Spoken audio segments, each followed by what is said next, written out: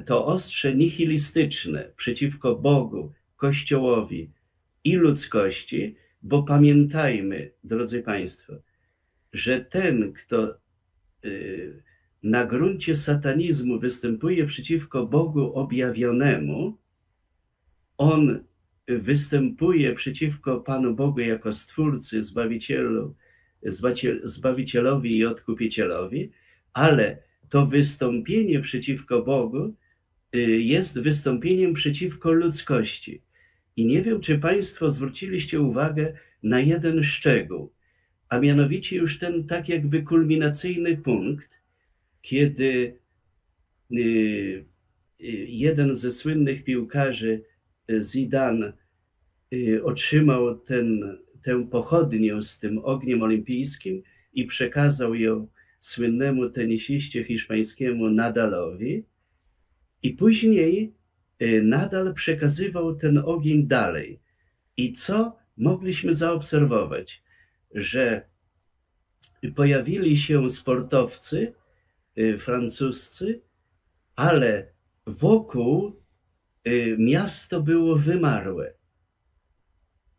Uważam, że to było ukazanie przesłania bo chodzi o to, tej ideologii najradykalniejszego satanizmu i nihilizmu, z jakim dotychczas ludzkość zmagała się, bo jeżeli weźmiemy epoki w historii świata, i oczywiście te po upadku raju historycznego, y, to była epoka mitu, i później po epoce mitu narodziła się nauka, czyli 2000 300-400 lat temu mieliśmy y, rozpoczęcie nowej epoki y, z metafizyką Sokratesa, Platona i Arystotelesa i wtedy na przykład już kwestia takiego bożka płodności była zdezaktualizowana. Dlaczego?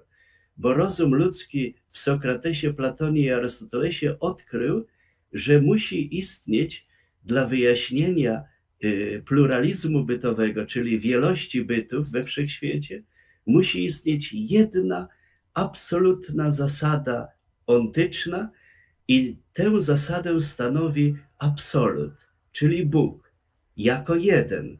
I już wiemy, że 2300-400 lat temu prawie Sokrates oddaje za to życie.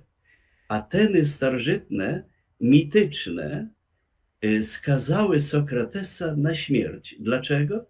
Ponieważ ośmielił się wystąpić między innymi przeciwko temu bożkowi płodności, którego y, Francja XXI wieku wystawia jako gospodarz y, olimpiady i to rzuca ogromny cień na, na ten nurt ideowy MKOL-u, czyli Międzynarodowego Komitetu Olimpijskiego, z którym, jak domniemywam, musiały być y, przeprowadzane y, rozmowy i ustalenia takie strategiczne, jak y, od strony struktury olimpiada się rozpocznie. Tak domniemywam. A, a już te okoliczności zawieszenia dziennikarza polskiego, pana Przemysława Babiarza, ukazują, i to fakt y, z siedzibą w Niemczech y, nam przybliżył, że okazuje się, że ta na wskroś neokomunistyczna w swojej treści piosenka Johna Lennona i Beatlesów, ona została przez pana Przemysława Babiarza idealnie, bardzo precyzyjnie. Ja mówię to o tym jako filozof, nie jako kapłan, tylko jako filozof, że bardzo precyzyjnie i krótko y, została ona zgodnie z, z prawdą zinterpretowana.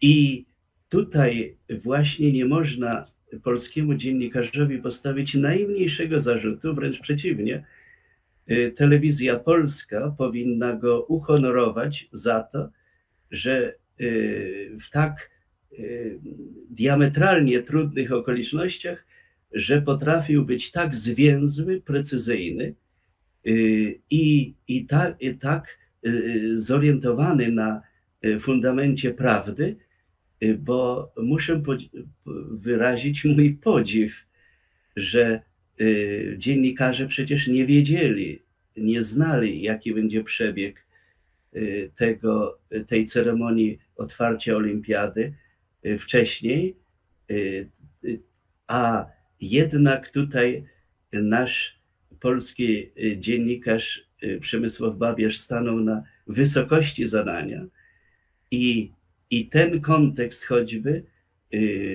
właśnie ukazujący, że Beatlesi byli w okresie rewolucji neokomunistycznej lat 60. zinstrumentalizowani, jak dalece ci młodzi chłopcy byli świadomi tego procesu wykorzystywania ich dla y, marszu przez instytucje y, w sensie neomarksizmu na zachodzie Europy, to, to trudno mi powiedzieć. To jest na pewno trudne, ale y, podstawowe kwestie tam zostały zanegowane. Transcendentny świat, który przed Beatlesami przez Sokratesa i Platona i Arystotelesa, czyli przez naukę ludzkości, został z pozycji rozumu już odkryty, że istnieje niebo, które jest ponad tym widzialnym niebem, że istnieje Bóg, który jest poza widzialnym kosmosem, że istnieje idealny boski świat.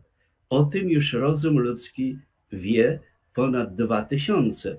Dlatego tutaj y, to wielka szkoda, że takie talenty muzyczne y, i ludzkie, y, jakimi byli Beatlesi, że one zostały tak y, zinstrumentalizowane dla celów rozprzestrzeniania się ideologii komunizmu światowego. Dzisiaj nazywamy go globalnym, a dokładniej neokomunizmem, czyli takim zradykalizowanym o, o ten wymiar nihilistyczny totalnego nihilizmu.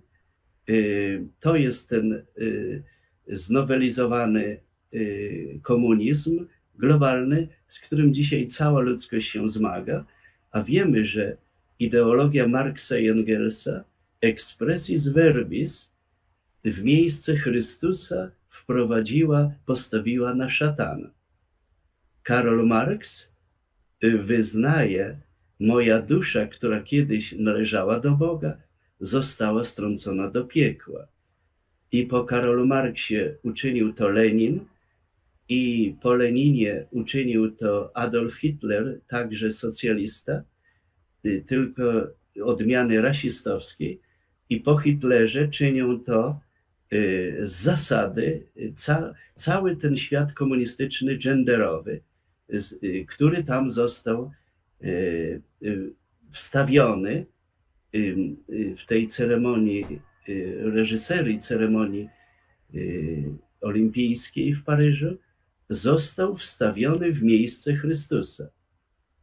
To już nie państwo komunistyczne, tak jak Karol Marx i Engels proponowali, żeby państwo ateistyczne, czyli z gruntu wrogie Bogu objawionemu w Chrystusie, było tym y, antidotum na Boga, lecz teraz y, świat genderowy. Y, a zatem to jest, wydaje mi się, jedna z form krzewienia satanizmu we współczesnym świecie.